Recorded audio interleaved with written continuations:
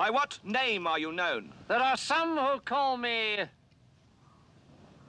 Tim? Welcome to another episode of Timmy Talks, the channel where we talk old school magic. And today we're having another mail day. It's uh, it's actually pretty busy. I'm really happy with that. Uh, we've got mail from the Netherlands. We've got mail from Germany, nicht knicken. Okay, listen to the instructions, nicht knicken. Um, and we've got email. I believe this one is from France. So yeah, Beba. That is the Netherlands en français.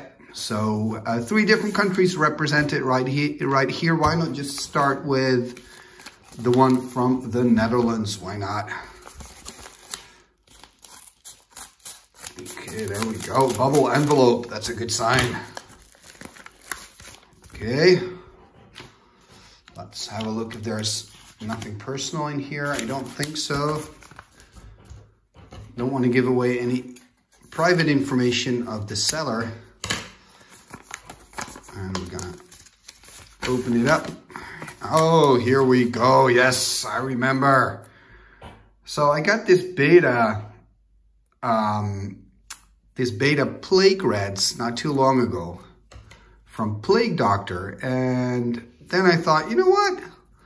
Let's order some revised Rats too. I already own, of course, a full playset. But the funny thing about these is you used to be allowed um, to play as many as you wanted. And I kind of remember that rule. And I thought it would be kind of cool to do that again. So Rats is one black and two for summon Rats and it's got two asterisks here below. And the asterisks below are the number of rats in play, counting both sides. Thus, if there are two plague rats in play, each has power and toughness 2-2. Right? So they start out being kind of a bad creature, right? You pay three and there's only one rat in play. It's just a 1-1.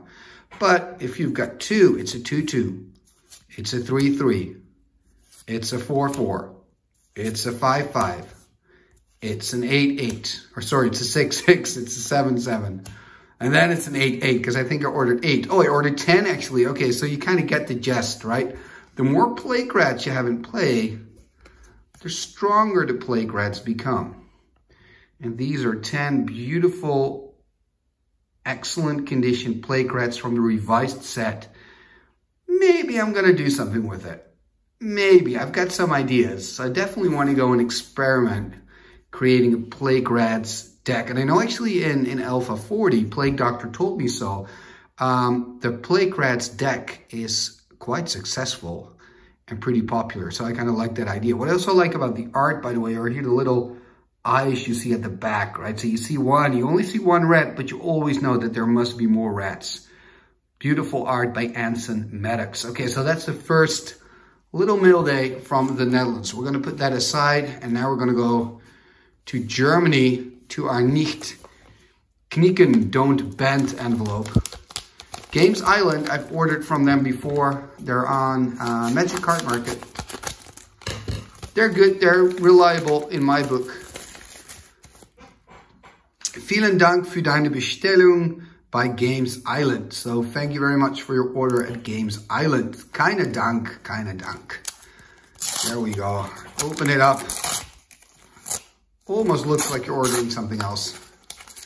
And of course, we've got our protective armor, right? We got a zombie token. Okay, and then, ah, we've got the cards that I wanted. So I've got these cards for my sideboard of my Flying Elementals deck. So not sure if you've seen it in action already. It wasn't very successful the first test run. As a matter of fact, it lost all the games but I've been tweaking it slowly and it is really, really getting better. So the Flying Elementals deck, a lot of fun to play. It's slowly getting better and creating a sideboard is kind of part of the process. So here we've got ein Steppenbrand, which means I'm Flashfires. And uh, allen Ebenen im Spiel werden vernietigte, vernietigt, whatever. Anyway, all planes in the game are destroyed when you play this baby. So it's a one-sided Armageddon, right? If your opponent is playing um, with white. So it's pretty good. I've ordered three, for some reason not four, but three. I guess that's the new magic number. So three of these, and then um, we're gonna go to the last envelope, and I think I've uh, kept best for last. I think I know what's in here. And um, yeah, this is this is a really good one. Her name's Gwendlyn. I already have Nicol Bolas with the same colors. Let's give it a try. First I see is I gotta check the letter.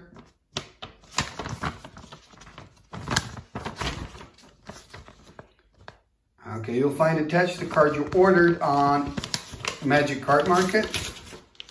I just, I don't want to sh show you the uh, the letter because there are some uh, address details on here. So I don't want to give away his name or the address details. Uh, this has been a purchase on Magic Card Market. It's really a card that I wanted to.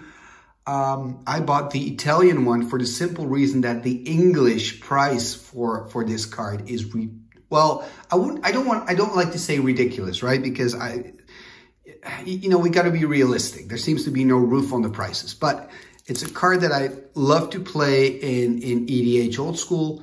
And I already have Tetsuo Umezawa. I already have Nicol Bolas. And I kind of felt, okay, this, this girl needs to be added to the group of bad guys. So you probably already know what it is, right? But I'm just going to pretend you don't. I'm going to make it a little surprise. Oh, there, there she is. All right, there she is. All right. Okay. So we got some nice cover cards, right? We've got, yeah, whatever. Uh, we've got, okay. And then we've got the big hits and some more uh, decorations. So here she is, Gwendlyn Di Corci. Wow, that art is just fantastic. The nice, the cool thing about this card actually is, and that's why I thought it's not too bad to get her in Italian, she is actually Italian, isn't she, the character? So maybe it makes more sense getting this card in Italian than in English. Although, of course, I would love to own this one in English as well. But let's take a look at the card, what it does. So one blue, black, black, and red. So those are the colors of Nicol Bolas. You get a um, summon legend, obviously. You can tap her. Let's first look at her stats. So it's a 3-5, which is actually pretty good. So a 3-5 for 4 mana, right? That is pretty good. And then um, you can tap her and your opponent actually has to discard a card. So you tap her and then the opponent has to discard a card. Now, you can only do this in your own turn. So it's like a disrupting scepter, uh, scepter effect. But the thing is, you don't have to pay any mana for it. So it is, I understand why this card is valuable. Should it be this valuable?